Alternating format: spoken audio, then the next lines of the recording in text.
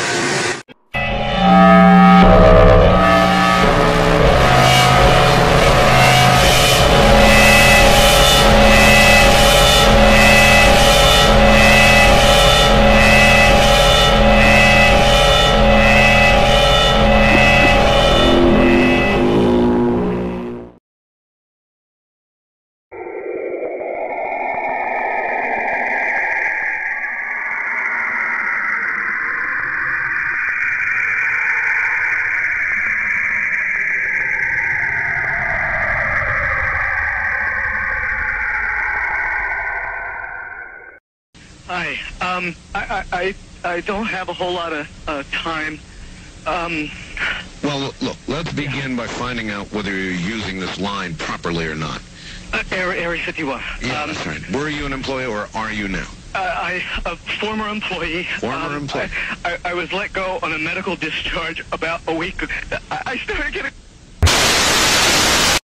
In some way, something knocked us off the air, and we're on a backup system now. It's the uh, government or,